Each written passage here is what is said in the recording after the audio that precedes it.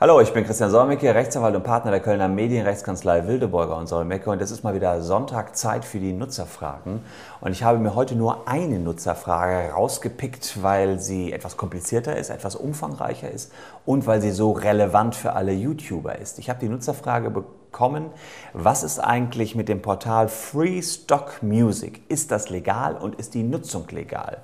Bei Free Stock Music bekommt man Musik, die man auch in YouTube-Videos verwenden kann und das sogar kostenlos. Allerdings haben einige YouTuber jetzt einen Strike bekommen oder eine Mitteilung, dass eine Urheberrechtsverletzung vorliegt, wegen Verwendung von Free Stock Music Musik. Das jedenfalls war zunächst mal der Vorwurf, mit dem wir unter anderem auch von verschiedenen Nutzern angesprochen worden sind. Hey, kann das denn wirklich wahr sein? Und dann haben wir uns die Lizenzen mal genauer angeschaut von freemusic.com. Also es ist tatsächlich so, dass man dort eine Lizenz bekommt zur Nutzung des Werkes und zur Schaffung eines neuen Werkes. Das heißt, man soll die Musik nicht als solche alleine stehend verwenden, sondern man soll ein neues Werk daraus machen. Zum Beispiel eben, indem man ein Video damit hinterlegt. Und man soll auch nicht dieses Video, äh, die, die Musik weiter, alleine weiter an andere verteilen. Man kann es zwar, so lesen wir die Nutzungsbedingungen, bei YouTube nutzen, aber bitte schön nicht ähm, die, dieses, diese Musik weiter verteilen. Die soll also immer nur von Free Stock jeweils weitergegeben werden. Und dann haben wir geguckt, wie kann das denn sein? Warum wird er abgemahnt? Und wir haben tatsächlich dann wahrscheinlich des Rätsels Lösung gefunden.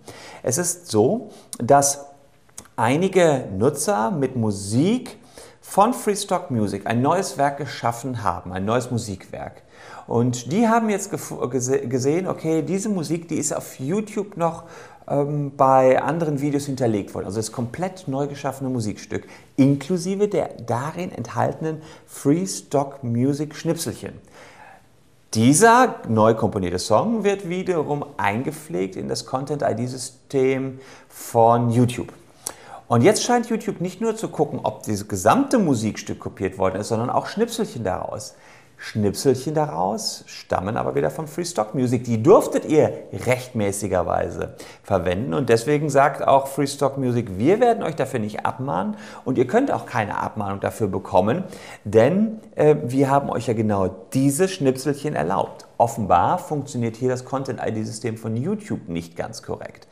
Also, unser Tipp grundsätzlich, Free Stop Music ist eine gute Geschichte. Ihr dürft das äh, verwenden, ihr dürft damit eure Musik für YouTube-Videos erstellen und müsst euch aber im Klaren sein, dass eventuell das als Urheberrechtsverstoß geahndet wird, wenn auch fälschlicherweise. Es ist kein Urheberrechtsverstoß, es liegt dann eher an der Technik des Content-ID-Systems. Soweit diese längere Nutzerfrage. Es würde mich freuen, wenn ihr weitere Nutzerfragen hier posten könnt. Danke fürs Zuschauen, tschüss und gerne bis zum nächsten Mal.